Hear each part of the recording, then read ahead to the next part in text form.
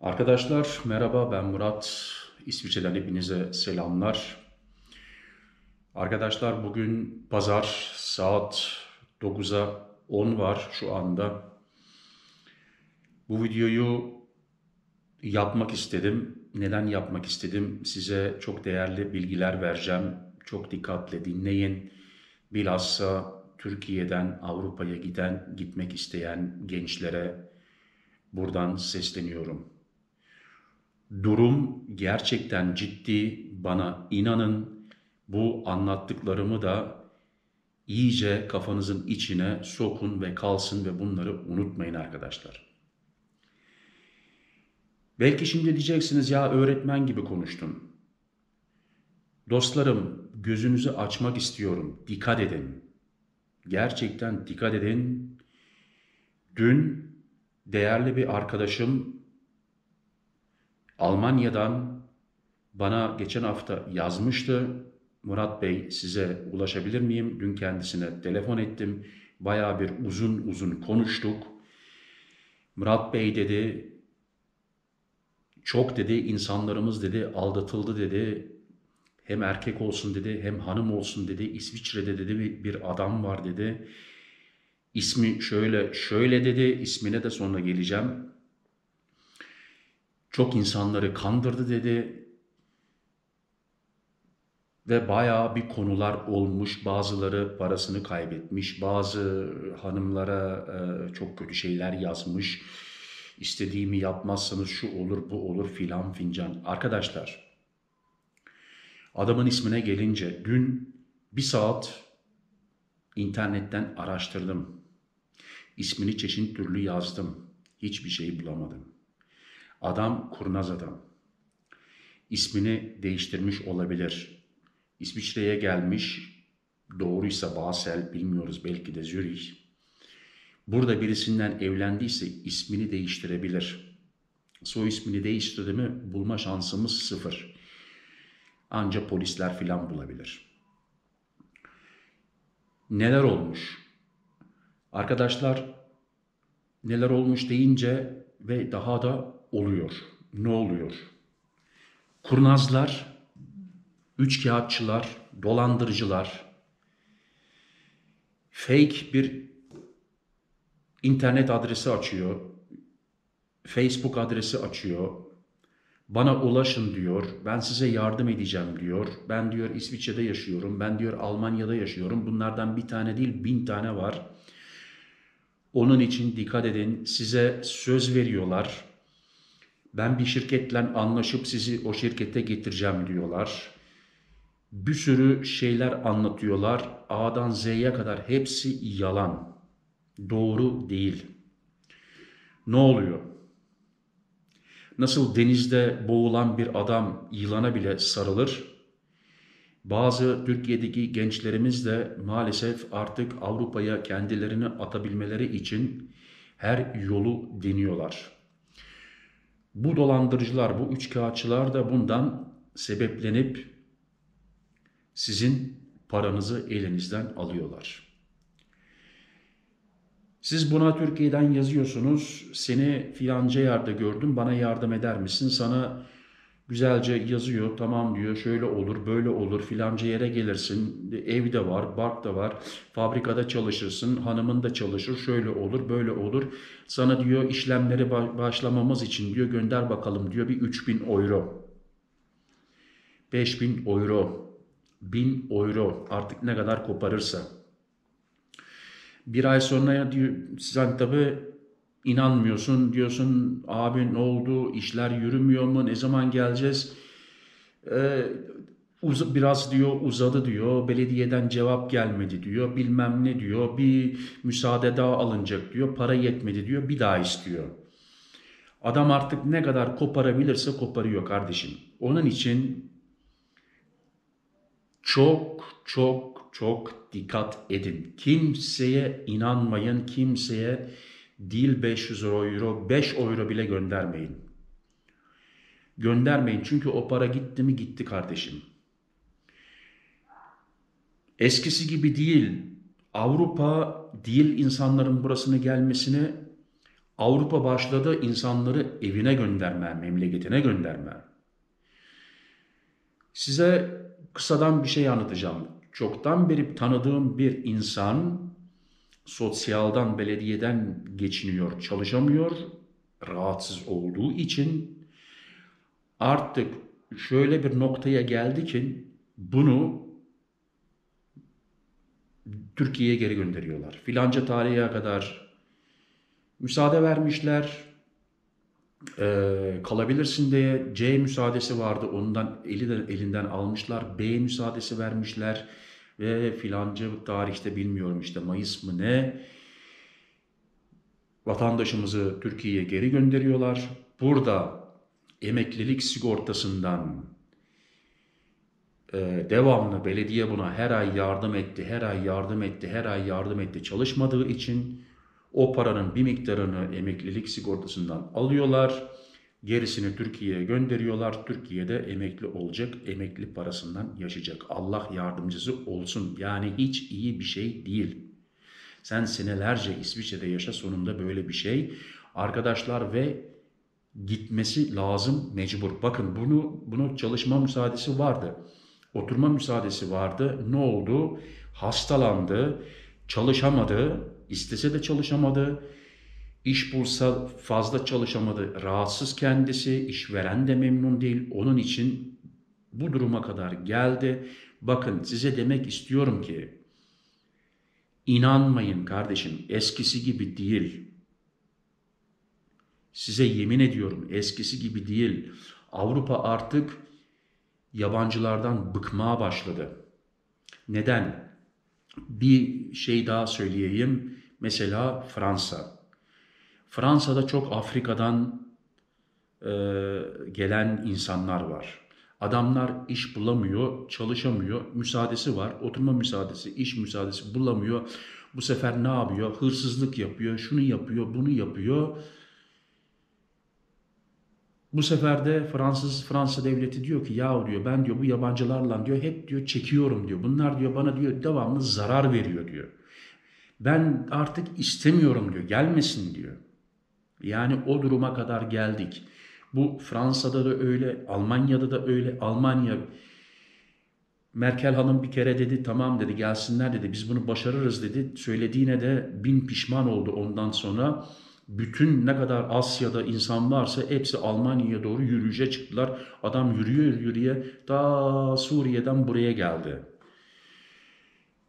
Söylediğine bin pişman oldu. Bana inanın Almanya'da müsaadesi olan çalışan varsa, işi gücü varsa, güzel para kazanıyorsa durumu iyidir. Ama yeni gelen nasıl gelecek o da işte bir problem. Almanca bilmiyor doğru düz filan fincan öbürkünün aldığı parayı alamaz. Yani durumu o kadar parlak değil bilhassa başlardan. Ama gelelim öz konumuza. Dün o arkadaşımla bayağı bir konuştum. Hatta bana dedi Murat Bey dedi bunu dedi videolarınızda dedi söylerseniz çok iyi olur dedi. Çok gençlerimiz dedi aldanıyor dedi, inanıyor dedi. Ve bu insanlardan bir tane değil bin tane var. Sırf İsviçre'de değil, Almanya'da değil, Fransa'da, İtalya'da var. Her yerde var. Ee, Bulgaristan'da var. Size diyor şöyle yoldan, böyle yoldan biz diyor götüreceğiz diyor, iş bulacağız diyor, şöyle yapacağız diyor, vize alacağız diyor bilmem. Arkadaşlar hepsi palavra. Belki diyeceksiniz abi o zaman ne yapalım? Buranın durumu çok kötü biz gitmek istiyoruz. Kardeşim gidebilseniz de hepiniz gidebilseniz de o devletin durumu ondan sonra daha da kötü olabilir. Onun için onun için elinizdeki parayı ona buna kaptırmadan Türkiye'de, şimdi Türkiye'den konuşuyorum. Türkiye'de kendi kafanıza göre anladığınız bir işi yapın. Elinizdeki parayı öyle bir işi yapın, çalıştırın, deneyin. Batarsan paran bari devletinde batar. Herhangi bir üç kağıtçıya, dolandırıcıya paranı kaptırma. Bari paran Türkiye'de kalır. Ben bundan kaç sene oldu ya? 32-33 sene evvelsi Baden Kanton Argav'da oturuyordum. O zamanlar çok çok çok Türkler, gençler buraya gelip iltica etmişti. Bunu videolarımda birkaç kere söyledim. Belki 300 tane vardı orada. Ben bunlarla kontak kurmuştum, konuşuyordum filan. Bunlar gelmiş.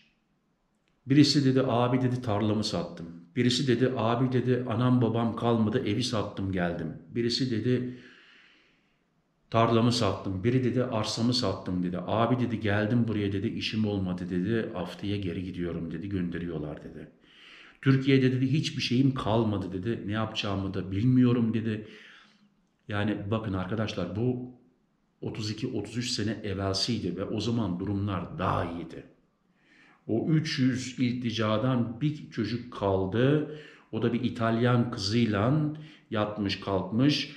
Ee, kız hamile kalmış. Bu sefer kızın annesi babası bunları anında evlendirdi. Müsaadesi geldi. Çocuğun şansı yokmuş. Taksicilik yaptı. Ee, parasını çalmak istemiş birisi arkada otururken parayı da vermek istememiş. Şuradan bıçağı bir sokuyor, bir çekiyor arkaya, bütün sinir sistemlerini kesiyor. Bu kol ölüyor arkadaşlar. Onun da şansı yokmuş. Ondan sonra kulağıma geldi. Ee, kızın memleketine İtalya'ya temelli dönmüşler. Ee, arkadaşımızın iki tane çocuğu vardı. Temelli dönmüşler. İtalya'da yaşıyormuş. Öyle duymuştum. Kulağıma geldi ama kontak koptu. Görüşemedik. Gitti inşallah kendisi iyidir. Bilmiyorum belki de beni seyrediyordur. Arkadaşlar bir daha söyleyeceğim. Gözünüzü seveyim. İnanmayın. Bilhassa e ben şirketle anlaştım. 3-4 tane Türk getireceğim. Filanca iş yapıyorlar. İnanmayın kardeşim. Hepsi yalan. Öyle bir şey yok. Vallahi yok, billahi yok. İnanmayın. Yok öyle bir şey. Hepsi palavra. Sana der benim ismim şöyle şöyle hepsi fake. Sana bir IBAN numarası verir. O numara doğrudur. Sen o parayı Türkiye'den oraya yatırırsın. Adam burada parayı alır üstüne yatar. Ondan sonra hiçbir şey yapamazsın. Dün arkadaşımızla konuştuk, konuştuk, konuştuk. Adamın doğru dürüst ismini bile bilmiyoruz. Kimi mahkemeye vereceğim? Şikayet Türkiye'de oturan insanlar yapıyor. Bu adam tam bilmiyoruz. İsviçre'de mi oturuyor? Almanya'da mı oturuyor? Fransa'da mı oturuyor? Çok zor paranızdan olursunuz. Gözünüzü seveyim. Bana inanın arkadaşlar. Yapmayın, vermeyin, inanmayın. Ben bu arada bazı gençlerle özelden de yazışıyorum. Bana yazıyorlar abi şöyle olur mu, abi böyle olur mu? Abi birisi varmış götürüyormuş. Hepsine geri yazdım. Gözünüzü seveyim dedim. Vermeyin. Vermeyin. Vereceksen bana bir daha sor. Kim bu? Ondan sonra ama vermeyin. Sormanıza gerek yok. Hepsi palavra, hepsi dolandırıcı. Hatta bana birisi özelden yazmıştı. Abi 10 bin euro vereyim sana. Bakın bana yazıyor. Beni oraya götür. Ben kardeşimize yazdım. Abicim dedim. Güzel kardeşim. Sen bana değil 10 bin euro 1 milyon euro versen ben seni yine getiremem. Yine getiremem.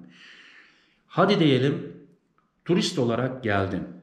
Bir ay belki, iki ay belki. Ondan sonra gene geri gitmen lazım. Ama bu turist vizesini alabilmeniz için buradan birisi istek yapması lazım. Seni hastalığa e, karşı sigortaya yapması lazım. Kazaya karşı sigortanı yapman lazım.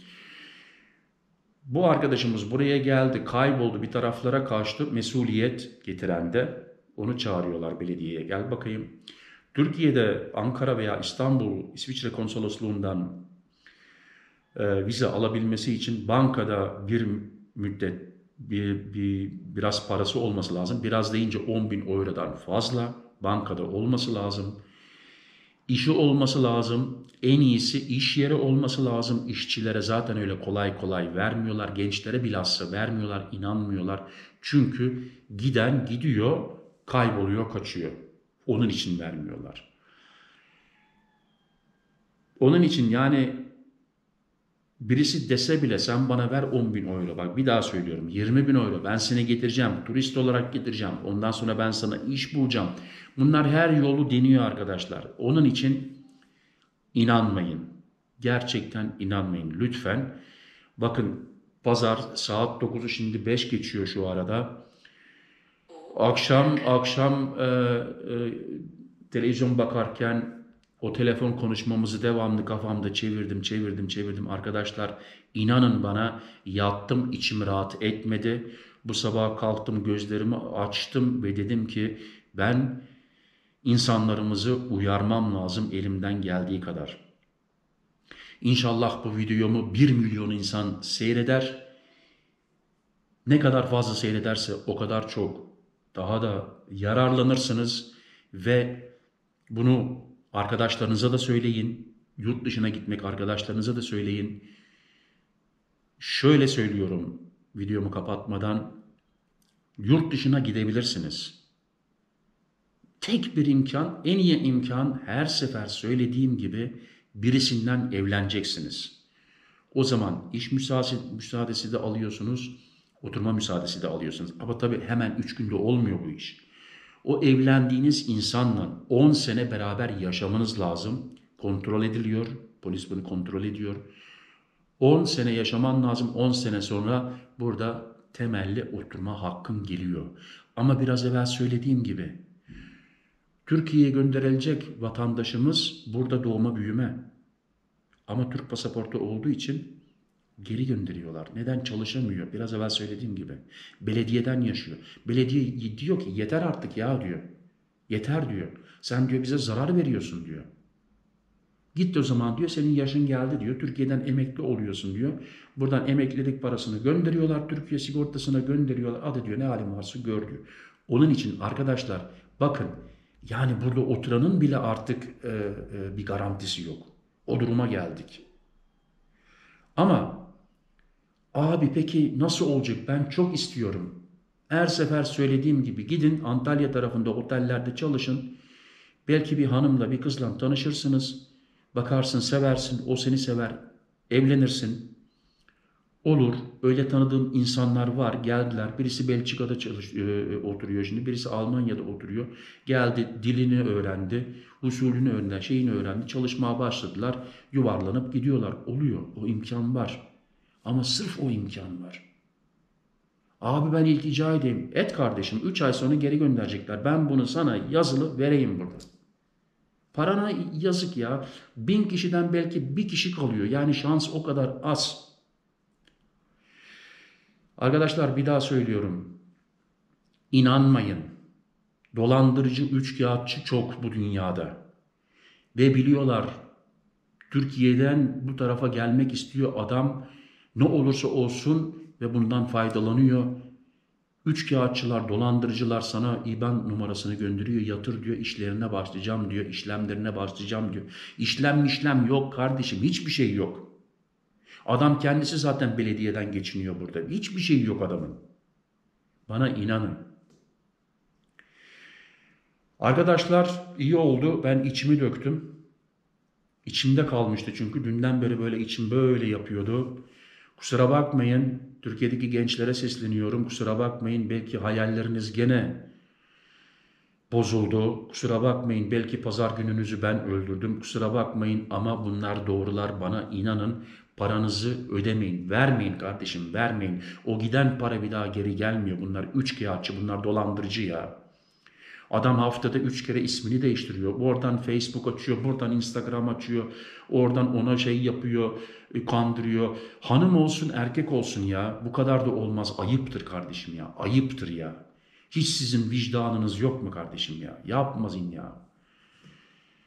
Evet bu dolandırıcılar beni sevmeyecek ama sevmesin. Onlar bana böyle yapsın. Hiç mü mühim değil. Gerçekten. Ama gençlerimiz yanmasın. Arkadaşlar hepinize hayırlı huzurlu pazarlar diliyorum. Sıhhatinize dikkat edin. Saatli kalın. Benimle kalın. Hoşça kalın. İsviçre'den Murat.